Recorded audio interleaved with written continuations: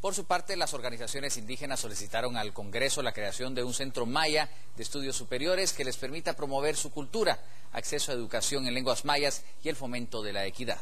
Irónico.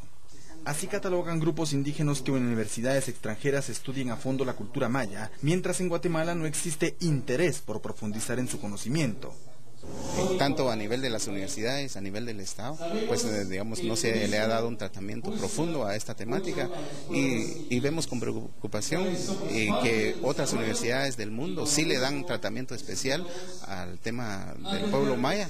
Entonces creemos nosotros también que desde ya podemos ser actores del desarrollo de nuestros pueblos. En el Día Internacional de Pueblos Indígenas, organizaciones mayas solicitan al Congreso crear un centro de estudios superiores, ciencia y conocimientos ancestrales. Consiste en impulsar centros de formación en donde podemos desarrollar la ciencia, el arte, digamos la, digamos, la salud que existe a nivel conocimiento, pero que no está sistematizados.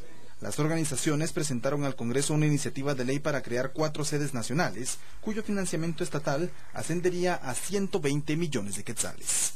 En Cámara Leonel Gudiel, en una nueva era de información, Ángel Alonso, Noticiete.